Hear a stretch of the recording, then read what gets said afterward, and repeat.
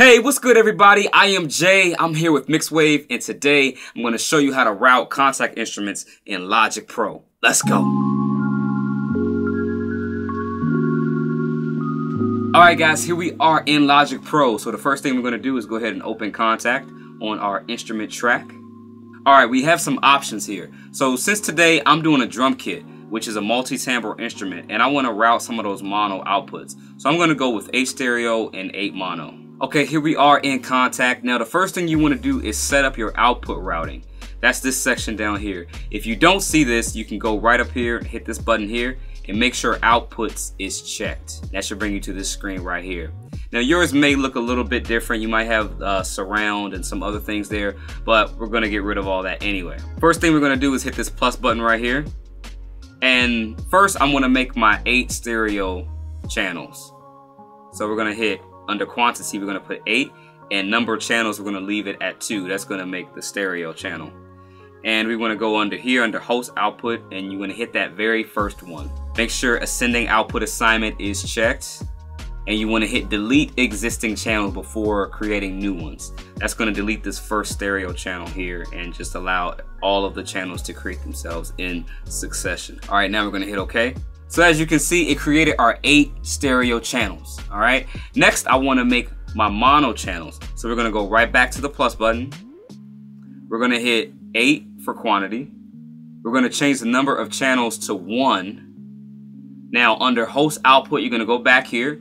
And what you're gonna do now instead is you're gonna scroll to the bottom and you should see these last eight channels here it should say aux1 it may say something different but the last eight channels that you see here after the stereo channels you want to hit that first one. You want to leave ascending output assignment checked. Now but however this time we do not want to hit delete existing channels. Leave that unchecked. You're going to hit ok all right as you can see we have our eight stereo channels and as i scroll through we have our eight mono channels as well so what I recommend you do at this point, especially if you're routing drums, is you want to name these channels. That's going to really help you out when you're routing things later. So what I'm going to do is for stereo 1, I'm going to just name this kit. I'm just going to name it kit because anything that I choose to just leave in that main stereo field, I want to go there.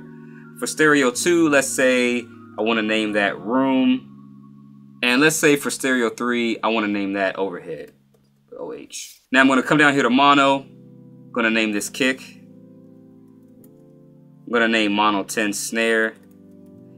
I won't do all of these just for sake of time. We'll just name this one hat. So the next thing you want to do is save this as your default setting. So we're to go right here and we're to click this save current output section state as default and we want to hit all formats. So now that we've done that, we want to go ahead and open our instrument. Today, I'm using Thomas Pridgeon drums from Mixwave. So if you're using multiple Kontakt instruments, you can just go ahead and route those through the stereo channels. But since we're doing a drum kit today, I want to route each drum piece through its own channel. So we're going to utilize more of the mono tracks. Let me show you. All right, so here in Thomas Pridgeon drums, I'm going to go ahead and start routing these drums. I'm going to go to the mixer and I'm gonna route my kick to the kick, that first mono channel, snare to snare, and I'll go ahead and route the hi-hat. Now back in our output view, you can see as I hit the drums, everything is coming through its own separate channel. Now the audio you see coming through the kit channel, that's the overheads and the room mics that are still coming in. I'm gonna leave those there for now, but let's continue with routing our snare, our kick, and our hi-hat. So we have our kick, snare, hi-hat coming through their own output on the plugin. But now what we need to do is route them through channels in Logic Pro. So back here in our Logic mixer view, you can see on our instrument track, we have a plus button. So I'm gonna hit that and it creates aux channels related to the instrument track. So I'm gonna hit that three times for kick, snare, and hi-hat. And what I'll do is right here where you can see the output number of our output section from Kontakt, You'll see Kontakt 3, 4, 5, 6, 7, 8. Those are our stereo channels that we made. But I want the mono channels that we made for the kick, snare, and hi-hat. So I'm going to click on Kontakt 3 and 4. I'm to go to instrument 1, which is Kontakt for us.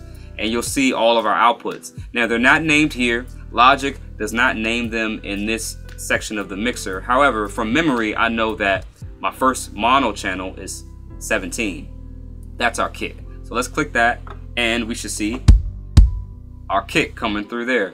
Now I'm gonna do the same with the snare and the hi-hat. So here, five and six, I'll go to instrument one. Wanna make this 18, that should be our snare. Perfect. And the next one I'll go to, that should be our hi-hat. So we'll go to instrument one and we'll go to 19, should be our hi-hat. Boom.